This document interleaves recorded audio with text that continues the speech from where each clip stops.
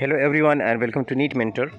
Uh, the current update regarding NEET PG 2022 is uh, admit card is published and you can visit official website where you had done the registration for 22 examination and you can log in and then you can download your admit card.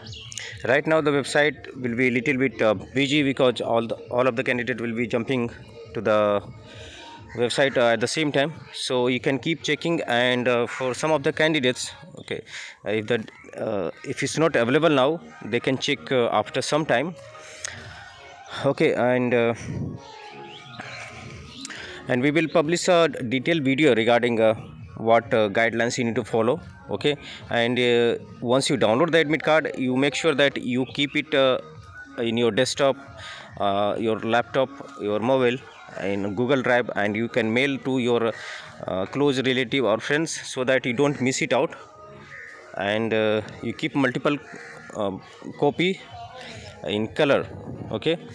So these are mandatory, mandatory things and you need to read out all the guidelines and to follow the guidelines on the day of examination which is very much required. I will post uh, another video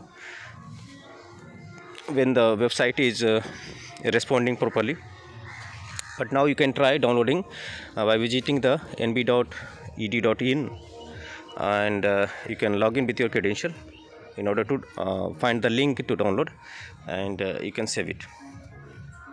You can also avail our paid guidance. We'll talk in detail once the examination is done